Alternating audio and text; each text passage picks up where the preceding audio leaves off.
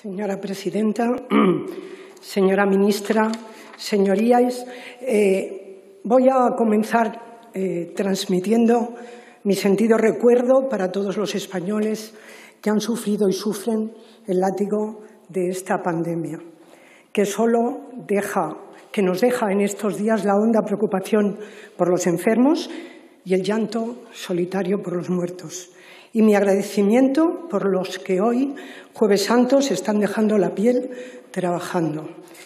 Y a los trabajadores y trabajadoras de esta casa, a los que se les ha vuelto a privar, como la investidura de un significativo día de fiesta.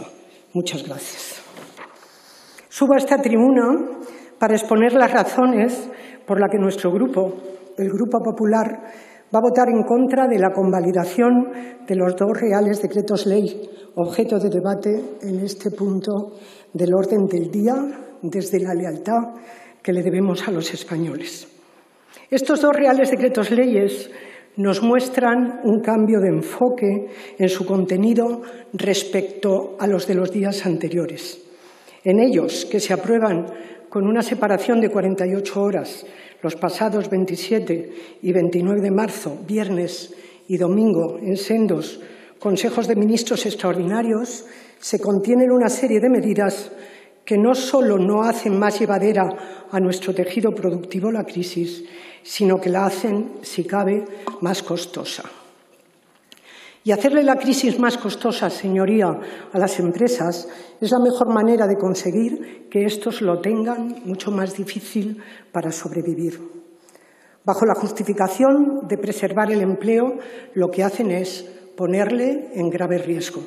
Porque el empleo lo facilitan las empresas, usted lo ha dicho antes, pero en fin, y si éstas desaparecen, el empleo desaparece.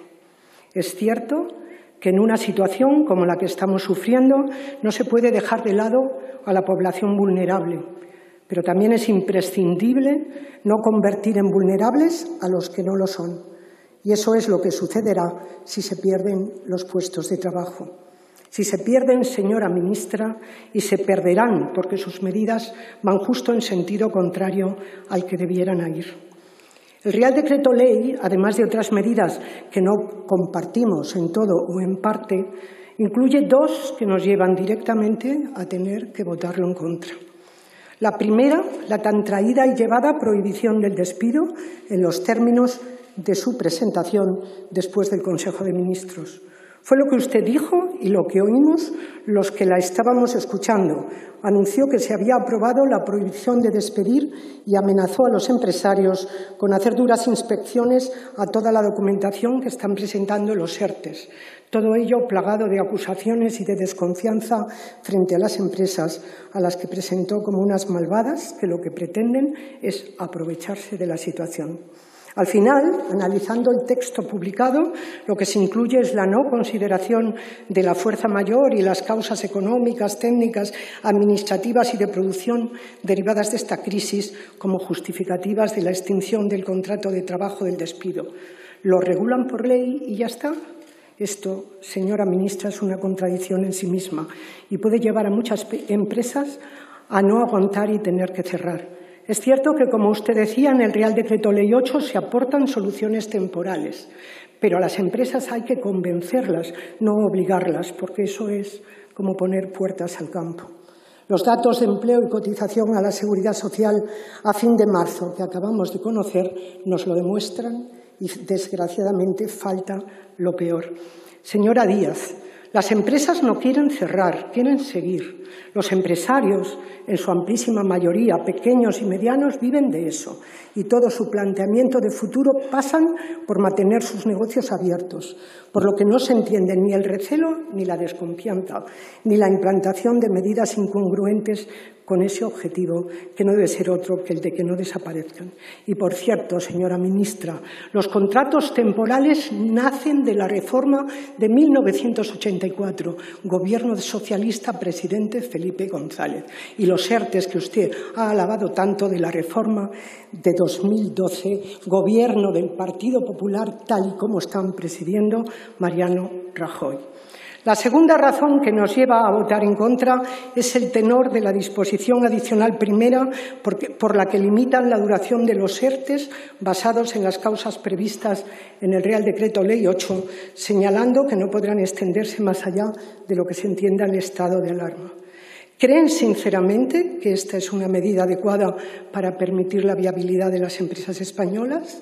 ¿Creen sinceramente que las empresas querrán mantenerse en esta situación por su propia voluntad? Retirarle las ayudas que suponen dichos ERTES de golpe cuando se extinga el estado de alarma puede llevar a muchos a que no puedan continuar.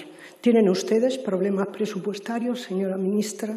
¿O quieren detraer fondos destinados a ayudar a la viabilidad de las que usted estima, discúlpeme, pero yo oí esa rueda de prensa y es lo que usted transmitió, malvadas empresas que se aprovechan a tenor, como decía, de su rueda de prensa para hacer otro tipo de políticas, las de su programa propiamente político, son ustedes los que se están aprovechando de la crisis. Este Real Decreto Ley contiene, como decía, otras medidas que no compartimos en todo en parte, pero vamos a solicitar su tramitación como proyecto de ley y en ese trámite propondremos la incorporación de modificaciones que lo hagan más adecuado a lo que ahora se necesita. Segundo Real Decreto Ley a convalidar, el 10-2020, se aprueba en un Consejo Extraordinario celebrado en domingo, como decía, tan solo 48 horas después del anterior y también sin acuerdo previo con los agentes sociales ni comunicación alguna con los partidos políticos, al menos con el nuestro, ni con las autoridades afectadas con tiempo suficiente para analizar la medida. Repentinamente se acuerda una limitación adicional al existente para el movimiento de las personas durante el periodo comprendido entre los días 30 de marzo y 9 de abril, prohibiendo realizar una serie de actividades que se consideran no esenciales en este periodo y obligando a las empresas afectadas a que hagan efectivo a sus trabajadores lo que se denomina permiso retribuido, recuperable obligatorio. La ministra portavoz, en la rueda de prensa del siguiente Consejo de Ministros, ante la pregunta de un periodista sobre la falta de discusión y contraste de esta medida y de su aparente improvisación, contestó señalando que había que entenderlo porque estaban llevando a cabo un trabajo vertiginoso y que se había aprobado una herramienta, le llamaba esto herramienta, innovadora e imaginativa. Yo la calificaría de otra manera, discúlpenme por el casticismo. Es un yo invito y tú pagas. La anterior limitación se cubría en parte por el Gobierno a través de los ERTES especiales, pero en este caso el coste recae en su totalidad sobre las empresas, porque aunque las horas perdidas sean recuperables, en los complicados términos y escaso periodo de tiempo al que se refiere el Real Decreto Ley, el negocio perdido es muy difícil que se pueda recuperar. Señorías, en el caso de catástrofes, el Gobierno tiene que atenderlas. Su coste, en un país responsable y moderno, no debe de caer sobre los ciudadanos ni directamente ni a medio plazo, como sucederá si desaparece en parte nuestro tejido productivo. Es por eso por lo que se deben de tener las cuentas públicas saneadas, para que no haya necesidad de andar rateando, como hemos visto en el anterior Real Decreto Ley, que es el posterior, que se discutió hace un rato, y lo vemos en estos. El coste de esta medida no debe recaer sobre las empresas. Esta es la, la principal razón por la que vamos a votar en contra de la convalidación de este Real Decreto. Podemos estar de acuerdo, y de hecho estamos, con el objetivo que plantea en su exposición de motivos, limitar al máximo la movilidad. De hecho, alguna de las comunidades autónomas gobernadas por el PP lo había solicitado pero no con el modo, ni la forma ni el contenido. Así no, señora ministra. El Real Decreto Ley, por otra parte, deja mucho que desear desde su tenor literal hasta su publicación, desde el debate social que provocó su puesta en marcha hasta las sucesivas modificaciones de sus efectos, bien mediante el procedimiento establecido en su propio texto hasta por la puerta de detrás.